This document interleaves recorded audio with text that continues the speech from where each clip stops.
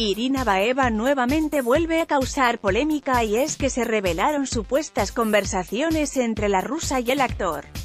Fernando Carrillo, las cuales podrían ser el indicio de una infidelidad a Gabriel Soto.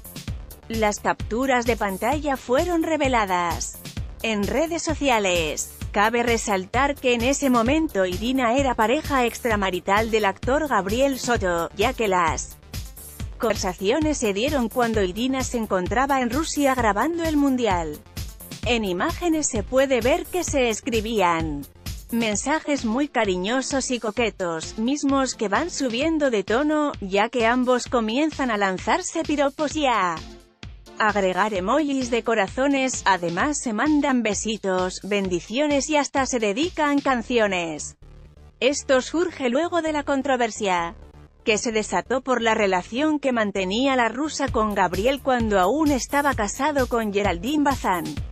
Sin embargo, otro escándalo está en puerta, pues ahora se destapó que Irina Baeva sostenía pláticas a escondidas con el actor venezolano Fernando Carrillo. La infidelidad de Gabriel hace unas semanas tras su separación y los rumores creados sobre su relación con Gabriel Soto, Geraldine Bazán decidió romper el silencio y hablar de la infidelidad de su ex esposo con Irina.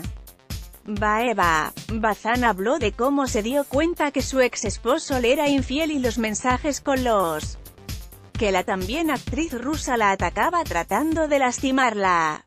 A través de un video publicado en su canal de YouTube contó que se dio cuenta que algo sucedía cuando asistió a una obra de teatro del padre de sus hijas y al saludar a Irina notó una especie de rechazo. Debido a la actitud de la actriz rusa, Geraldine, decidió enfrentar a Soto y preguntarle si tenía algo que ver con Baeva, cosa que negó el actor. Luego de mensajes o historias que Irina posteaba como posibles indirectas, Bazán preguntó nuevamente a Soto y sin aceptarlo ni negarlo, él actor dijo que no volvería a suceder pero ella ya intuía algo. Sin embargo lo que detonó su separación fueron los rumores de que Gabriel Soto era el padre del bebé que tuvo la actriz Mariori de Sousa, por lo que Geraldine le pidió que se fuera de su casa. Aquí las conversaciones.